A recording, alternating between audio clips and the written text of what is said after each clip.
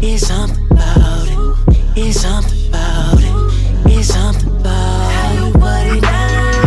What's good, y'all? It's your boy Ross back at it again with another video. And I just wanted to say happy Thanksgiving to everyone out there, man.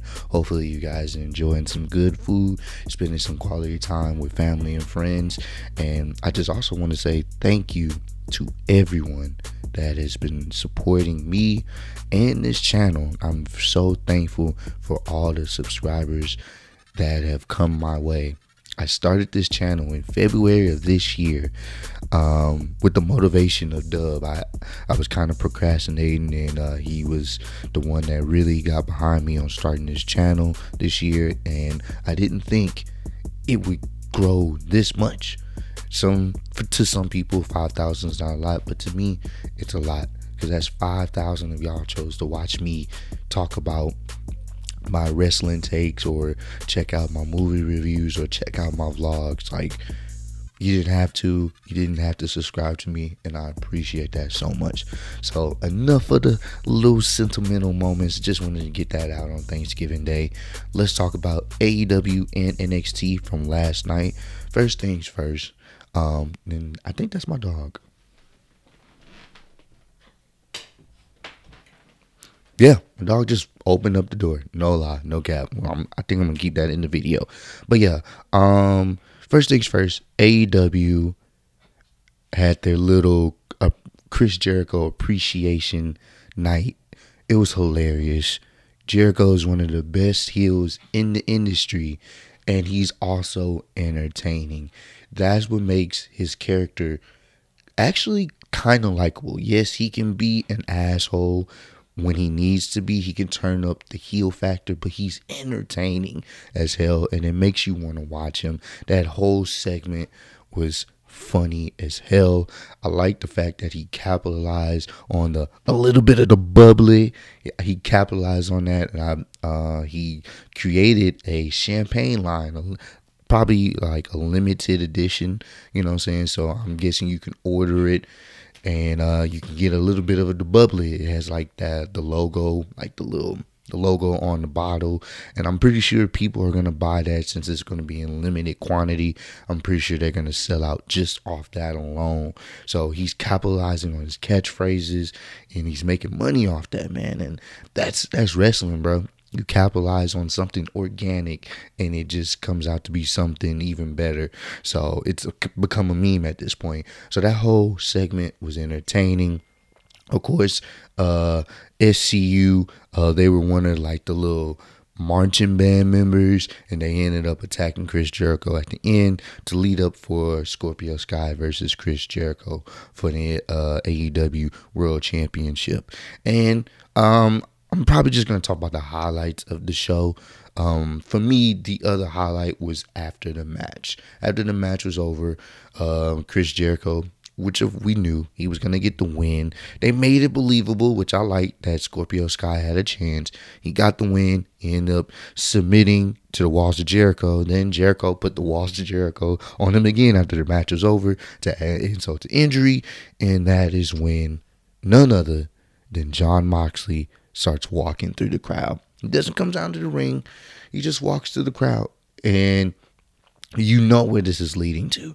And this is so entertaining because I didn't think they were going to go with the Jon Moxley versus um, Chris Jericho feud as soon as uh, as this, but this is sign me up, man. Because honestly, Jon Moxley is one of the hottest things in AEW.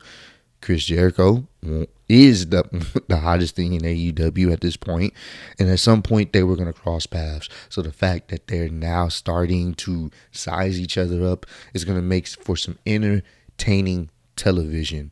Do I think he will get the title off the first try? I don't think so. I think you want to keep building Chris Jericho's momentum as a heel even more because Jon Moxley's over as hell. People want him to see him as the AEW champ. So you build that up. But I do feel like at some point he will get the strap. And I'm looking forward to that. So let me know. Comment down below if y'all are looking forward to the Jon Moxley and uh, Chris Jericho feud. Because me personally, I think it's going to be some great television. So those were the highlights for me. I know Kenny Omega got his win back over Pac. That was pretty cool. And everything else, I I kind of tuned into, but I wasn't really too much paying attention to. So for me, uh, uh, AEW for me, um, it was a decent episode. Uh, I probably give like a, a seven out of ten. Uh, let me know if uh, how y'all felt about the show. But the show that I enjoyed more this week was NXT, man. NXT had a nice show this week. I enjoyed it. They're starting to plant some more seeds after the uh the fallout from Survivor Series and War Games. I love I love the fact that the whole roster comes out there celebrate their win over SmackDown and Raw Survivor Series. AEW they not AEW, I'm tripping. Undisputed comes out there and they're basically like, "Yo, guys, whoa, whoa, whoa, whoa, whoa, whoa, whoa, y'all should be thanking us because we are the reason why NXT got the dub over SmackDown and Raw. We are the guys. Y'all should be thanking us. Y'all didn't really do nothing. We we took care of business. And I like how they set up a match with, between Keith Lee and Dominik Dijakovic versus uh, the Undisputed Era Tag Team Champs. They set up a match between them, and you know, of course, Tommaso's like, "Yeah, I'm I'm coming for Goldie." You feel me? Don't don't get it twisted, madam. It ain't over between us. And then Finn Balor comes out there, and they end up having a match: Tommaso Ciampa versus Finn Balor at the main event slot. That was dope. That's honestly, that's an NXT takeover caliber match. I don't believe they faced each other at any point ever. So that was a first time ever match, if I'm not mistaken. And the fact that we're getting some more seeds being planted here is hella entertaining. Um, towards the end of that main event match, um, Adam Cole comes out there with the slight distraction, which gives Finn Balor the dub. Because once again, Tommaso, he can take an L. Uh, granted, it wasn't a clean L. He can afford a loss. But Finn Balor is got this new character, like this new character arc. So you got to build him up as a credible threat. He got the dub.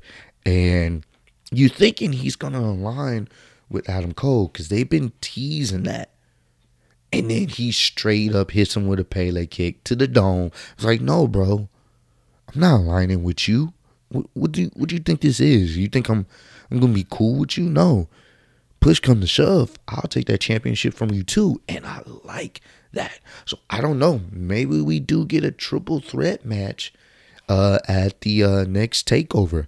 Maybe we get a triple threat match. I think that would be entertaining. Adam Cole versus Finn Balor versus Tommaso Ciampa, that would be entertaining as hell. So it's going to be interesting to see what Adam Cole has to say about the Pele kick. It's going to be interesting to see what Finn Balor has to say.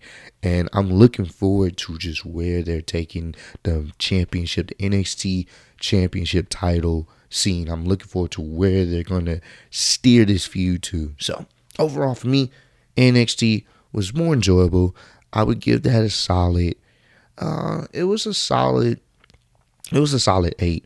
Uh, the tag team match at the beginning of the show was entertaining. Of course, undisputed, undisputed era. They win by a result of some shenanigans as always, but it was still an entertaining match, and um, I'm just looking forward to where they they take some of these feuds. I'm also looking forward to Rhea Ripley getting some of uh, Shayna Baszler, man, getting getting some of that action, man. I'm looking forward to that too. They had a nice little confrontation in the ring. Um, but yeah, eight out of ten for me personally. Let me know if y'all enjoyed the show as well. But out of both shows, NXT got the dub for me again this week. We will see what happens next week. Either way, both shows are both entertaining. Let me know. Comment down below which show y'all enjoyed more this week. And also comment down below what y'all eating for Thanksgiving, man. What y'all eating today for Thanksgiving. I want to know what's on the menu at y'all crib. So, but I appreciate y'all kicking it with me. And I'll see y'all on the next one. Peace.